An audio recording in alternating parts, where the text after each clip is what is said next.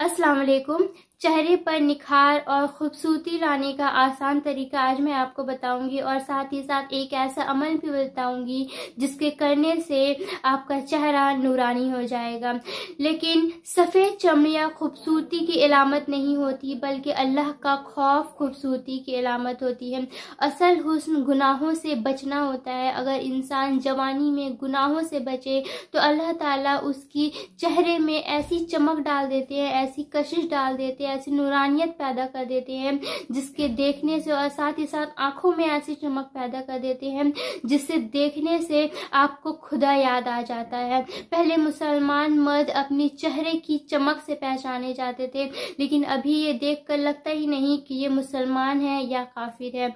अमल में आपको आगे बताऊँगी, और साथ ही साथ यूसुफ अलैहिस्सलाम के ने ये फरमाया कि चेहरे पर खूबसूरती लाना हो तो जब तुम सुबह उठो तो अल्लाह का शुक्रिया अदा करके उठो तो अल्लाह तुम्हारे वजूद पर रहमतें भेजते हैं और तुम्हारे चेहरे को नूरानी कर देते हैं। और दूसरी बात, यूसुफ अलैहिस्सलाम ने यह भी फरमाया कि जब तुम सो तो उन लोगों को माफ़ करके सो जो तुम्हें तकलीफ़ पहुँचाया है, जिन्होंने तुम्हें तकलीफ़ दी है, उन लोगों को माफ़ कर दो। जब तुम उन लोगों को माफ़ करोगे तो अल्लाह ताला तुम्हारे गुनाहों को माफ़ कर देगा और तुम्हारे ऊपर रहमत भेजेगा।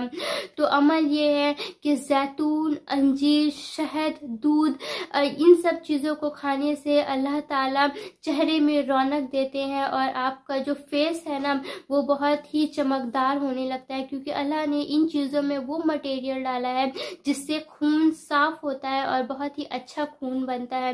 रसूल अलैहि वसल्लम ने अपनी ज़िंदगी में कभी भी चावल नहीं खाया, क्योंकि अरब में चावल था ही नहीं। ये अल्लाह का सिलेक्शन है कि पैगम्बरों को कौन सी गज़ा देनी है और कौन सी गज़ा नहीं देनी है। हमारे नबी मुस्तफ़ा सल्लल्लाहु अलैहि वसल्लम ने सबसे ज़्यादा ऊँटनी और बकरी का दूध पिया है, क्योंकि इसमें फ़ैट बहुत कम होता है और मोटापा इससे नहीं आता।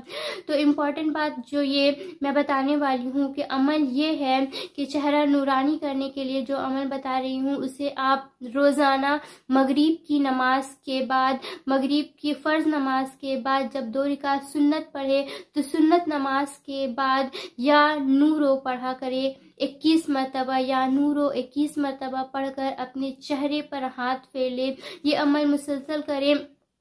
इससे आपके चेहरे में रौनक आएगी, चेहरा निखर जाएगा और आपकी खूबसूरती हमेशा हमेशा के लिए बरकरार रहेगी।